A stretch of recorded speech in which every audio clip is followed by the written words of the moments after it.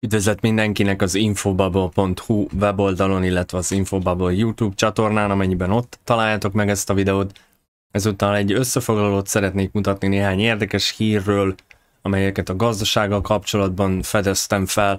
Szó lesz a csokról, inflációról, az Európai Unió növekvő befolyásáról, hogy hogyan fogják kontrollálni az internetet.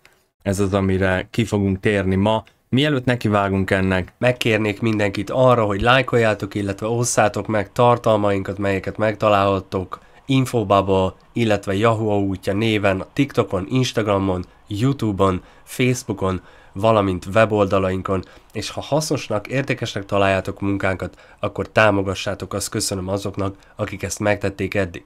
Úgy tűnik, hogy napról napra szorul a hurok a nyakunk körül, Ezúttal talán a legfontosabb ezek közül a hírek közül az, hogy az Európai Unió az internet kontrollálására törekszik, meg fogjuk nézni, hogy mi az a módszer, amit, amit választottak ennek az elérésére. De azonban ezt a pénzcentrum.hu cikket szeretném megmutatni, mert tele van érdekes dolgokkal, szeptember 4-ei ez, az mai éppen. Arról beszélnek, hogy jelenleg nem látszik, hogy mi húzhatná ki Magyarországot a gödörből, ugyanis a vágtató infláció és a magas kamat környezet miatt a fogyasztás és a beruházások mértéke is visszaesett. Nem tudom, hogy azok, akik ezeket a döntéseket meghozzák, vajon ennyire gonoszak, vagy ennyire ostobák, de azt mondja dr. Pogács a Zoltán közgazdás, illetve szociológus. Volt néhány a költségvetés stabilizálását célzó intézkedés, melyek nagyjából most gyűrűznek be, és tovább emelik az árakat. Augusztus 1-ével kivezették az ársapkákat, most látjuk, hogy ennek a hatása érvényesül-e, vagy sem, már látjuk, hogy érvényesül. Új adóterhek is vannak, még új adóterhek is vannak, mint ha nem lenne éppen elég. És ezeket érvényesíteni fognak majd az árakban. Óriási kérdés a második fél évben várható nyugdíjrendezésre tett kísérleteknek a hatása. Továbbra is óriási a hiány a költségvetésben, ezért várható, hogy a második fél évben lesznek további korrekciók.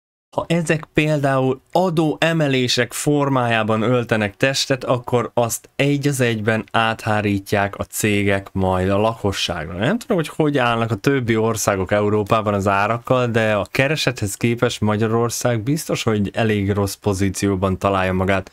Az lehetetlen, hogy 6-700 forint egy liter benzin vagy gázolaj itt nálunk olyan keresetekkel, mint ami az átlag kizárt, hogy akár Angliában, vagy csak a szomszédban, Ausztriában ilyen lenne az arány. Csak az üzemanyagról van szó persze. És ez nem csak a szupermarketekre érvényes, hanem például a biztosításoknál is láttunk ilyet, és egy csomó más helyen, hogy áthárítják a cégek majd a lakosságra ezt az adókat. És figyeljen mindenki erre a következő két mondatra, úgyhogy most konkrétan nem merném megjósolni, hogy lemegy-e az infláció 10% alá vagy sem, de ugyanez a helyzet továbbra is. Az alaptrend lefelé tartó, és ezen emelget a kormányzat a költségvetési stabilizációs lépéseivel. Ezen emelget, emelgeti az inflációt a kormányzat. 10%-os infláció, ha valaki számára nem világos, azt jelenti, hogy 10%-kal csökken a bevételének a vásárló ereje nagyjából. Indul a gázáraknak az emelkedése, ami egy hatalmas lyukat vág a költségvetésben, az átgyűrűzik az euró árfolyamba, ami nagy hatással van az inflációra. Az árfolyamot próbálják kezelni azzal, hogy az egekbe emelik a kamatokat, gyűrűzik tovább a dolog a kamatpolitikába. Ez viszont leállítja a hitelezést, recesszió lesz, ami visszaüt az adóbevételek csökkenése miatt a költségvetési politikában. És majd azután azt kell kezelni, valahogyan ebből lesz a megszorítás. Minél alacsonyabbak a kamatok, annál inkább az emberek felveszik a hitelt, mert olcsóbb lesz számukra ez az idézőjelbe vett másoknak a pénze, ami a banktól vagy az államtól jön. Ha azonban emelkedik a kamat, akkor nem éri meg annyira kivenni a pénzt, hisz a befektetés nem biztos, hogy megtérül, ezért nem vesznek fel hitelt az emberek, így azonban nem megy a gazdaság sem, mert a gazdaság a hitelre épül, az emberek nem termelnek annyi pénzt, amennyit költenek, hanem a hitel az, ami működteti a jelenlegi gazdaságot. Ha nem hitelez a bank, mert magas az alapkamat, akkor nem tud az ember befektetéseket eszközölni, és megáll a gazdaság, hisz megállnak az építkezések, a különböző beruházások, nem lesznek fizetve a dolgozók, akik amúgy ott dolgoznának, nincs pénzköltés, mert nincs pénz, amit elkölcsön az ember, ezért hát szépen lassan recesszió lesz. Kormány stabilizál, így próbál stabilizálni, ami emeli az inflációt, mert nincs annyi bevétel az embereknek, stb. az adókat emelik, ezért az emberek nem tudnak fogyasztani, ami recessziót okoz, mert nem áramlik be a pénz a gazdaságba. Ekkor a kormányzatnak kell valamit tennie a recesszióval, ezért az állam elkezd hitelezni, míg a magas kamatok miatt a magánszektorban leáll a hitelezés. Az állam hitelezése tovább emeli a hiányt a költségvetésben. Nagyon nagy az embereknek elfogytak a megtakarításaik, így a hazai fogyasztás emelkedése nem fogja kihúzni az országot a recesszióból. De hogyha az emberek a megtakarításaikat költik, az amúgy sem egy valós gazdasági fejlődés, ezt gondolom mindenki látja. Az egy álságos helyzet, hiszen az a pénz az azért van, hogy ha bajba kerül valaki, akkor ki tudja magát segíteni. Ehelyett elkölti azt, ezért a gazdaság beindul, de mára már teljesen leszívták az embereket ezekkel az intézkedésekkel, és ez is volt a cél, mindvégig ez volt a cél.